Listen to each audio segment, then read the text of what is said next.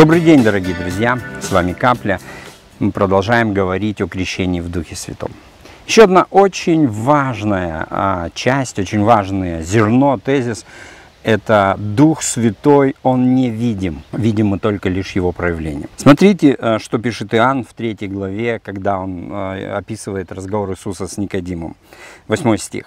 «Дух дышит, где хочет, и голос Его слышишь, а не знаешь, откуда приходит и куда уходит. Так бывает со всяким рожденным от Духа. Дух Святой – это личность, которую невозможно увидеть. Мы читаем в Библии описание, когда Бог Отец, Он являл себя Моисею, когда Он приходил и беседовал с Ильей. Мы сто процентов знаем, имеем огромное число свидетельств того, что Иисус ходил по этой земле, прикасался к людям, ел хлеб. Но когда мы говорим о Духе Святом, то мы говорим о невидимой ипостаси Бога невозможно увидеть Духа Святого. Возможно только лишь увидеть Его действие, Его проявление. Как мы не видим электричество, но видим а, его проявление, мы не видим ветра, но мы видим и слышим шелест листьев.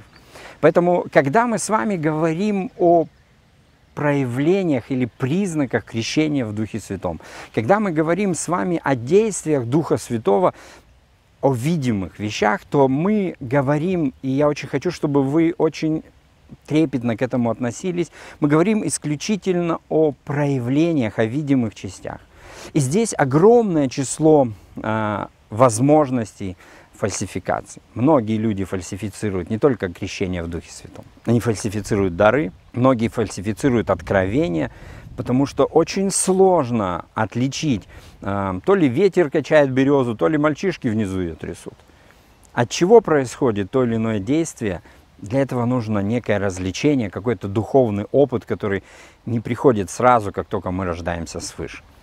Итак, я призываю вас быть осторожными, очень э, взвешенными, трезвыми и в какой-то мере даже критичными. Я не думаю, что Дух Святой обидится, если мы с вами будем проверять те или иные проявления, имея в собственном сердце твердое желание понимать, знать и видеть истину.